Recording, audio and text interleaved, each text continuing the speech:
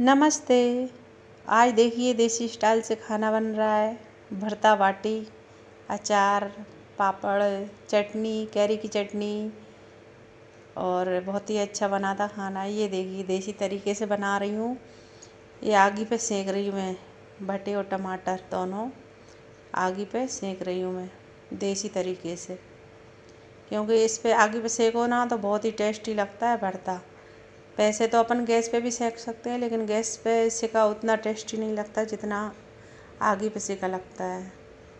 तो इसलिए आज मेरा मन करा कि मैं देसी तरीके से बनाऊँ और आप लोगों को दिखाऊँ तो इस चक्कर में मैं देसी तरीके से बना रही हूँ। नहीं तो फिर आप लोगों को नहीं दिखाना होता तो फिर मैं गैस पे ही सेक लेती। आप लोगों को दिखाने के चक्कर में इस पर सेक रही हूँ मैं।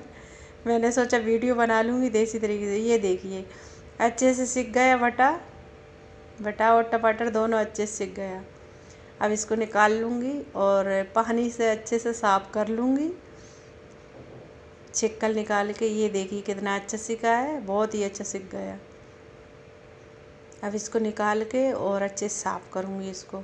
छिक्कल निकालूँगी इसके और बहुत ही अच्छा भरता बना था, बहुत ही टेस्टी लगा। इस तरीके से बहुत ही टेस्टी लगता है भरता। और इसको अब ले जा रही हूँ मैं नीचे किचन में। इसको साफ़ करूँगी पानी से। अब ये इस पर छत पे रख के सेक रही थी। ये देखिए, ये छिक्कल निकाल रही हूँ मैं।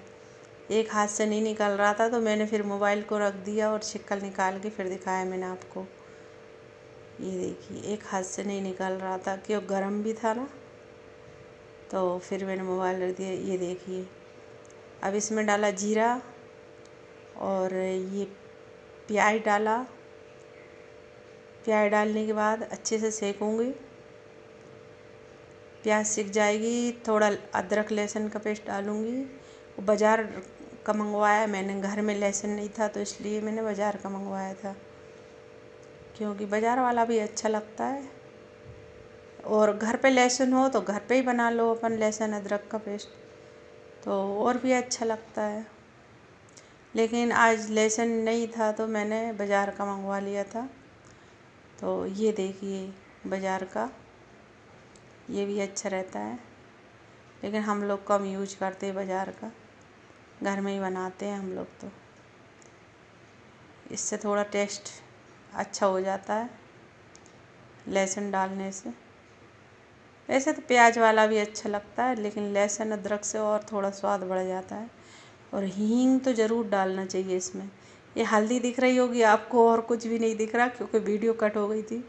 ये देखिए, सारे मसाले डले नहीं, आप लोग ये सोचो कि कोई मसाले नहीं डले इसमें। हल्दी, नमक, मिर्ची, धनिया और गरम मसाला सारी चीज़ें डली हैं। और इसके बाद बनाऊँगी मैं बाटी। और इसमें हाँ थोड़ा पानी डालूँगी मैं। क्योंकि पानी से थोड़ा अच्छा लगेगा, सूखा अच्छा नहीं लगता। तो पानी डाल के थोड़ी देर खोलाऊँगी मैं। ये मसाले में अच्छा सीख जाए, फिर पानी डालूँगी इसमें। और ये देखिए, मैंने पानी डाल दिया। अब इसको थोड़ी देर खोलाऊँगी मैं। खोल जाएगा। पानी कम हो जाएगा इसका, खोल के। फिर इसमें धनिया डालूँगी मैं। ये देखिए, हो गया पानी कम थोड़ा सा। अब अच्छे से खोल रहा है तो इसमें फिर उतार के धनिया डाल दूँगी मैं। ये बाटी बन गई। बाटी ओवन में सेकूँगी मैं।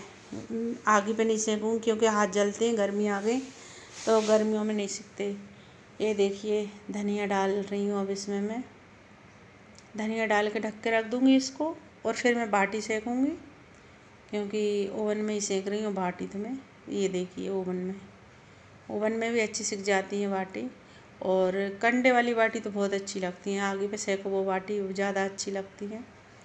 लेकिन आज मैंने गर्मी के कारण मैंने ओवन में बना ली तो वीडियो अच्छा लगे तो लाइक करना, सब्सक्राइब करना, वीडियो को ज़रूर ज़रूर पसंद